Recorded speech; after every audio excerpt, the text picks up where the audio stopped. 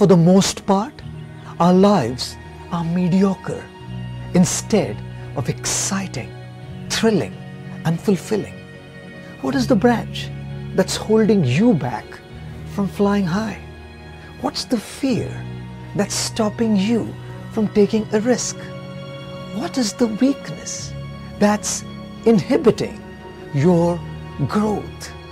Unless we cut off the branches we are clinging to and free ourselves, we can never take off and reach newer heights in our life. What are you waiting for? Cut the branch and take your flight.